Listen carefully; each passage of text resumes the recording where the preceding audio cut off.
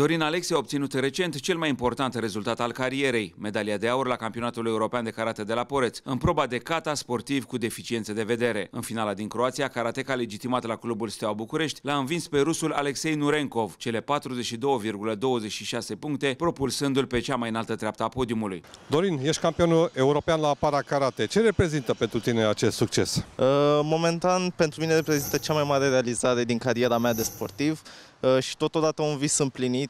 De cât timp uh, practici acest sport și de ce ai ales acest sport? Practic karateul de la 9 ani, am crescut cu filmele lui Jackie Chan și începusem să mimez tot felul de scheme făcute de el în filme, să mă joc prin casă, iar părinții mei au zis ok, trebuie să folosești energia asta cumva, nu trebuie să o irosești chiar așa, hai să vedem dacă chiar să prinde ceva de tine.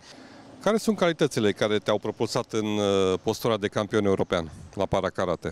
Nu m-aș uh, considera o persoană foarte talentată din punctul ăsta de vedere, cel puțin pentru sportul ăsta, dar uh, pot spune că munca și strategia bine pusă la punct, atât competițională cât și în pregătirea fizică și tehnică, m-au ajutat să ajung unde sunt acum. În vârstă de 24 de ani și pregătit de antrenorul Cristian Bogza, Dorin își dorește ca în viitorul apropiat să termine cu succes facultatea de medicină și să cucerească medalii și la următoarele competiții internaționale. Cine te-a sprijinit în obținerea acestui rezultat la europene?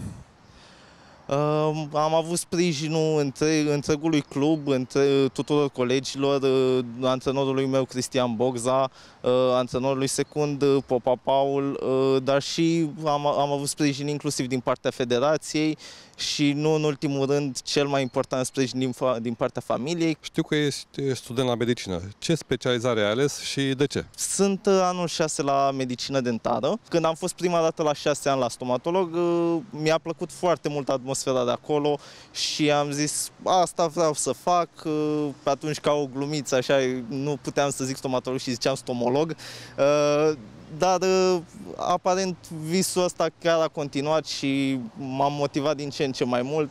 Ca și sportiv, care este marele tău obiectiv? Acum că am ajuns uh, să câștig acest campionat european, scopul meu următor ar fi o medalie sau poate chiar titlul mondial din uh, acest sistem VKF.